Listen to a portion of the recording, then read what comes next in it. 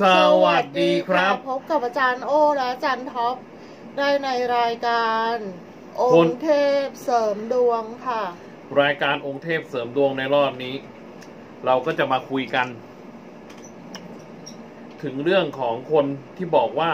ตัวเองไม่อยากเป็นร่างทรงเลย แต่รู้ตัวแล้วว่าต้องเป็นอย่างแน่นอน ว่าเรามีเส้นทางเราควรจะหลีกเลี่ยงได้ไหม ควรจะทำสิ่งใดได้มั่ง บาหลายคนก็บอกว่าเดี๋ยวจะทำบุญไปให้เทพก็ไม่ใช่ผีอีกนะ หลายคนก็มาถามเราว่า ควรจะหาวิธีการหลีกเลี่ยงด้วยวิธีใด ผมก็ตอบได้แค่ว่า ก็ควรหาวิชาการมาใส่ตัว โดยมีท่านอาจารย์โอมาแนะนำถ้าเชื่อผมก็จะอยู่รอดปลอดภัย ทุกสิ่งทุกอย่างมันไม่ได้เกิดโดยบังเอิญแต่เกิดโดยโชคชะตา โชคชะตาหมายถึงเกิดจากกรรมเก่าที่เราเคยสร้างไว้ในอดีต จึงต้องกลายเป็นคนทรง แต่การที่เราจะไม่ต้องการเป็นคนทรงนั้น เราจำเป็นมากที่จะต้องมีวิชาการเพื่อพัฒนาตัวเองโดยตรง โดยที่มีท่านอาจารย์โอมาเป็นประธานอ่าพูดถึงนะคะ อาจารย์โอก็เป็นหมอดูมาก่อน แล้วก็คนที่เป็นร่างทรง ก็คืออาจารย์ท็อปแล้วก็ไปจุดธูป ขอว่าขอเป็นหมอดูได้ไหม ใช่ไหมคะอาจารย์ท็อปอืม ตอนนั้นอาจารย์ท็อปไปไหว้ที่ไหนคะก็ไปไหว้ท่านที่ศาลพระพรหมนะ อืมถ้าท่านก็ไม่สารให้ ใหญ่เลยไหมคะใช่ศาลใหญ่แต่ท่านก็ไม่ให้ ท่านนะบอกว่าให้ทำสองอย่างเลย ท่านบอกให้ทำทุกอย่างที่จะทำได้โอ้ทำให้หมดเลย แล้วท็อปรู้ได้ไงอะ เออนะมันมันรู้สึกเอง มันรู้สึกขึ้นมาได้ รู้สึกในที่นี้ก็คือคนที่สวดมนต์มากๆอาจจะได้ยินเสียงขึ้นมาเอง เสียงเนี่ยคนที่จะสื่อได้ก็คือคนที่สวดมนต์ภาวนาจนจิตเป็นอุปจารสมาธิหรือจิตเข้าสู่ฌานเมื่อจิตดำรงฌานมากๆมาก ๆ แล้วอะ ไม่ว่าอะไรก็ตาม ที่ที่สื่อไม่ได้มันก็จะสื่อได้โดยโดยอัตโนมัติเองเอาล่ะเดี๋ยวบูชาองค์เทพก่อน นะโมตัสสะภะคะวะโต อะระหะโต สัมมาสัมพุทธัสสะนะโมตัสสะภะคะวะโต อะระหะโต สัมมาสัมพุทธัสสะนะโมตัสสะภะคะวะโต อะระหะโต สัมมาสัมพุทธัสสะโอมพระมาปฏิภาหายาทุติยมปิพพระมาปฏิภาหายาตาติยมปิพพระมาปฏิภาหายาอิติสุขโต อะระหังพุทโธนะโมพุทธายา ปัทวีคงคาพระพรหมมหาเทวาคมามิหังพรหมจิตตังปิยังมามานาชาริตินามาพาทานามาอาอุเมกโมปิโยเทวมนุสสานังปิโยพระมานามุตตมัง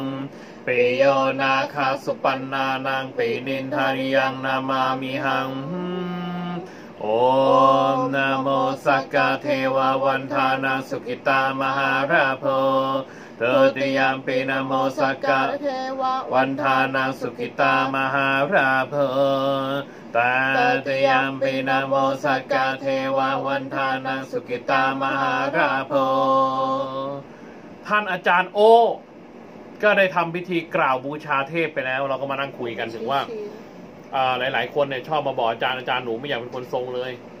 นะอืมแต่ผมเชื่ออย่างหนึ่งคนเนี่ยถ้ามาเป็นคนมีองค์แล้วอะ มันเลี่ยงไม่ได้ มันมีสองอย่างคือ ถ้าคุณต้องการเก็บทุกอย่างเอาไว้เบื้องหลังอย่างเดียวจริงๆอะคุณต้องไปศึกษาโหราศาสตร์ให้ได้ เพื่อเอามาดูดวงคน เพราะว่าเขาเลือกมาแล้ว ถ้าเขาเลือกมาแล้วเนี่ย แล้วเราไม่ทำเนี่ยปัญหามันก็จะเกิด แต่ถ้าเราเลือกที่จะเป็นเป็นหมอดูมันง่ายกว่า ที่จะเป็นเป็นคนทรงโดยตรงนะค่ะเพราะหลายๆ ครั้งเนี่ยปัญหามันเกิดขึ้นเนี่ยก็เพราะว่า มันเหมือนกับคนไม่มันไม่อยากจะไปทำเป็นคนทรงโดยตรง อะ มันอยากจะเป็นแบบเหมือนกับหมอดูมันจะง่ายกว่านะโดยจริงอะ อืม คือร่างทรงเนี่ยบอกก่อนว่าร่างทรงเนี่ย ก็ก็เหมือนดูดวงอะ่ะ แต่ว่าแค่เหมือนแบบทรงองค์ที่แบบเป็นเทวดามาพูดเหมือนท่านช่วยได้ท่านจะช่วยอืมอะไรอย่างเงี้ยค่ะอืมในสิ่งที่เขามีปัญหาอยู่เนี่ยอืมอ่าท่านก็จะบอกว่า อ่าเดี๋ยวอ่า เดี๋ยวข้าจะช่วยนะ อะไรเงี้ยประมาณเนี้ยอย่างเงี้ยอ่าอ่าแล้วเดี๋ยว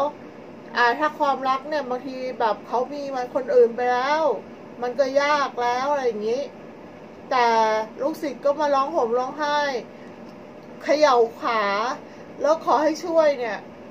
บางทีมันก็ยากนะคะ เพราะว่าเขาก็บอกไปแล้วว่ามีคนอื่นไปแล้ว เขาก็ยังจะมาร้องไห้เอาให้ได้ สุดท้ายก็ไม่ได้ไม่ได้ผล เพราะว่าจริงๆแล้วเนี่ยค่ะ ทุกอย่างอยู่ที่ดวงชะตาหรือว่าตัวเองทำด้วยนะ มันเป็นกฎแห่งกรรมอืมเพราะว่าทำไมถึงบอกว่าเป็นกฎแห่งกรรม เพราะกรรมเหล่านั้นเนี่ย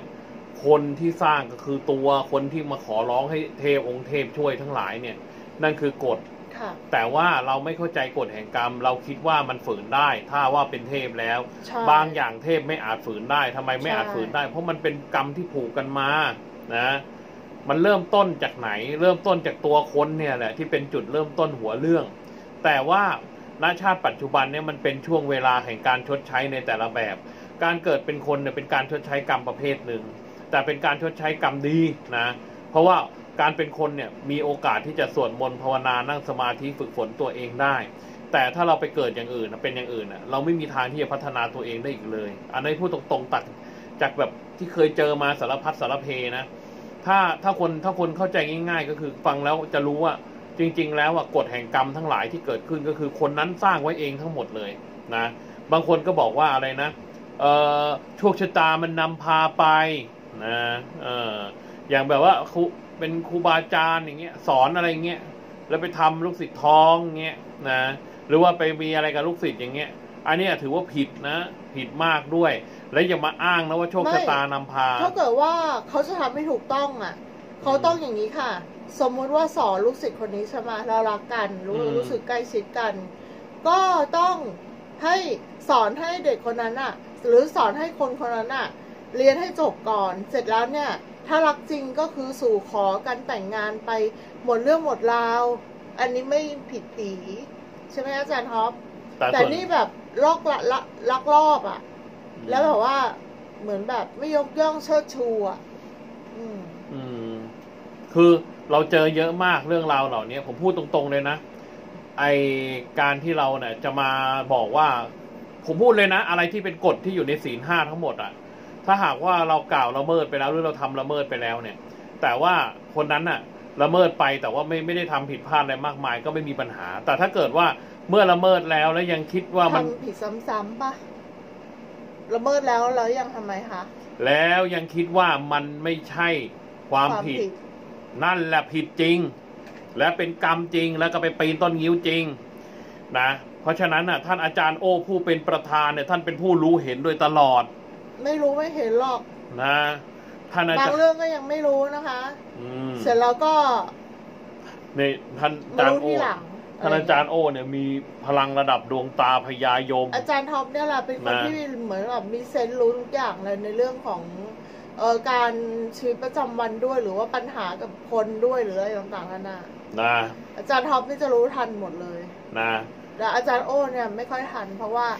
คิดว่าคนอื่นดี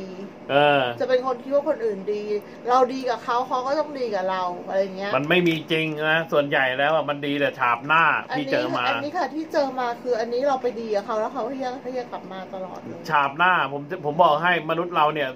ล้วนแต่ตกแต่งปรุงด้วยการฉาบไว้ และฉาบไว้ในที่เนี้ยผมบอกได้เลย ผมรู้มาตั้งแต่แรกแล้วว่า หลาย ๆ คนน่ะที่แบบว่าอยู่หรือทำอะไรร่วมๆกันเนี่ย มันย่อมมีวันใดวันหนึ่งที่มีปัญหา ไม่ว่าจะลงหุ้นลงอะไรก็ตามสุดท้าย มันจะมีปัญหาวันใดวันหนึ่ง โดยธรรมชาติเลยนะของคนเนี่ย เพราะฉะนั้นอะเออหลาย ๆ คนที่มาถามพวกเราว่า เนี่ยคือชอบมาคือคนหลายคนเราต้องมาตรวจกับพวกเราข้างหลังเองเนี่ยบางคนน่ะชอบมาถามพอถามเสร็จแล้วผมบอกว่าขึ้นบูชาครูก่อนแล้วผมจะบอกให้ เพราะอะไรรู้ไหม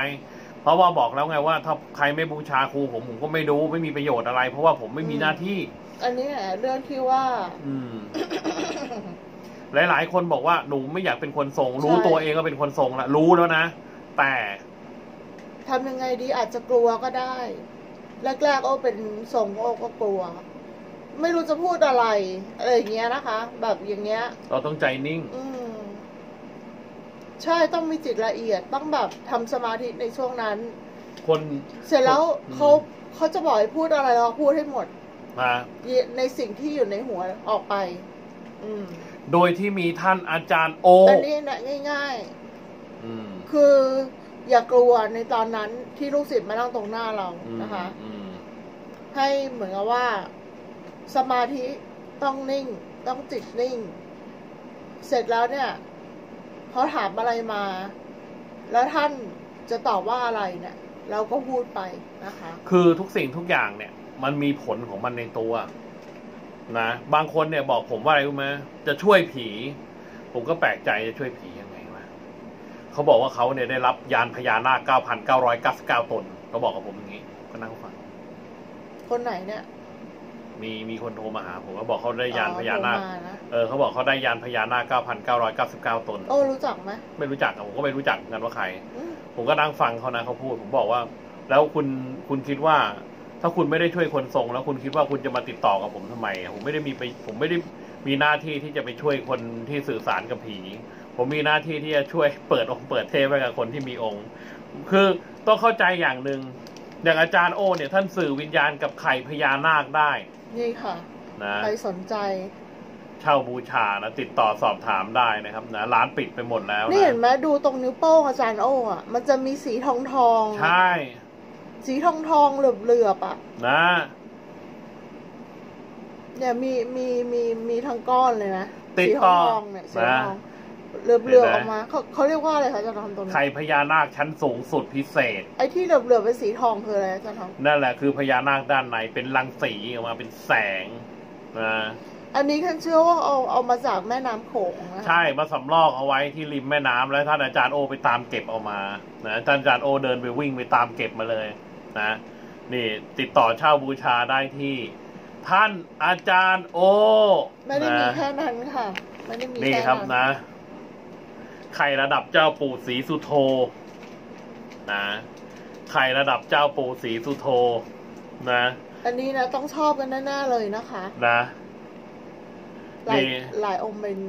องนี่ค์นี้ค่ะพญานาคสีเขียวแน่นอนค่ะ เจ้าปู่ศรีสุโธนะครับนะพญาศรีปทุมมาเอาจริงๆเนี่ยใครที่ชอบเจ้าปู่ศรีสุโธกับแม่ย่าศรีปทุมมา ติดต่อสอบถามเช่าบูชาได้ที่ ท่านอาจารย์โอ นะผมบอกได้เลยนะว่าใครเนี่ย ที่ไม่อยากเป็นคนทรงเนี่ยก็ให้ หาเรียนวิชาโหราศาสตร์เอาไว้ เป็นความรู้ติดตัว ติดต่อนะครับ ซื้ออุปกรณ์ดูดวงได้นะไพ่ยิปซีแล้วเราก็ใส่ไว้ในน้ำนะคะอืมนี่ติดนะต่อ เอออะเอาเลยอะอะ อะ เสร็จแล้วค่ะ ติดต่อดูดวงนะครับนะ นะได้ที่ Facebook โอสิริกรอภิรัตครับ หรือจะเช่าบูชา นะได้ที่ Facebook โอสิริกรอภิรัตเบอร์โทร 0 6 1 9 9 2 2 6 4 5 0 9 2 5 9 2 9 2 6 1 ID รายโอสิริ15 ชอบกดไลค์ใช่กดแชร์ขอบพระคุณมากนะคะ สนใจบูชาเครื่องรางของขลังเทวรูปเทพพรหมเทวดา